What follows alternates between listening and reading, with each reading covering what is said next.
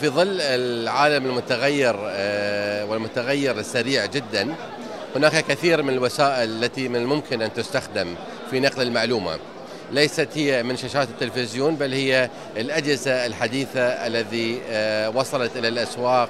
كال iPod وكال PlayStation وك أجهزة الموبايل التي ممكن من خلالها بث شبكات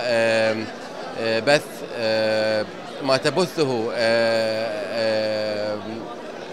ال satellite أو الهوائيات التي تتبث مثل إرسال هذه الشبكات مستخدمة نظام تسمى نظام ال DVB-H هي موجودة الآن وتم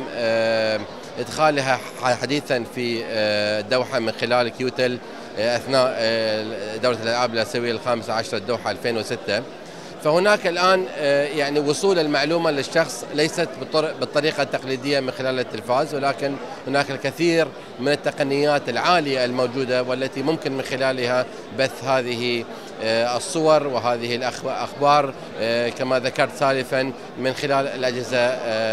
التي موجودة الآن ومن السهل الحصول عليها وتوافرها في أيدي الناس.